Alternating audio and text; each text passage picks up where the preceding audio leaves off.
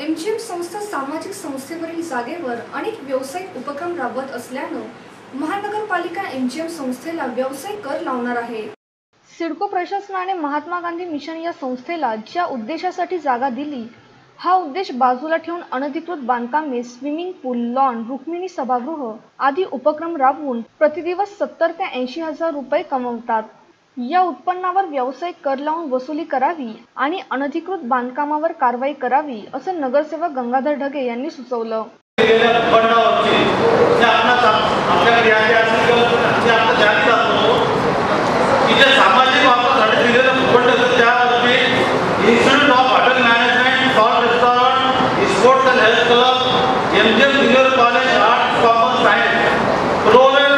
इंग्रजी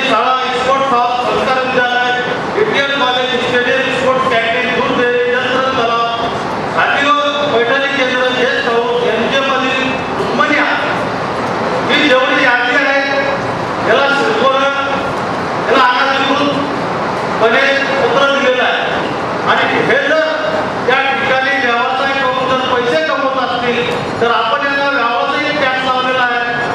तर रहिवासी टॅक्स लावलेला आहे का शैक्षणिक टॅक्स लावलेला आहे मला आपण एवढं सांगा प्रश्न आहे साहेबांना की हे जे असेसमेंट झालेलं आहे टॅक्सचं हे कधी झालेलं आहे? हे जे तुम्ही म्हणताय की आतापर्यंत सगळं क्लिअर आहे.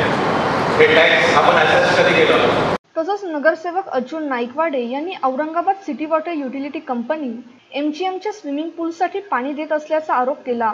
यावर कार्यकारी अभियंता हेमंत काल्ले यांनी एमजीएमला पिण्याच्या पाण्यासाठी चौदा हजार लिटर क्षमतेचे म्हणजे पाच टँकर दररोज पाणी दिले जाते.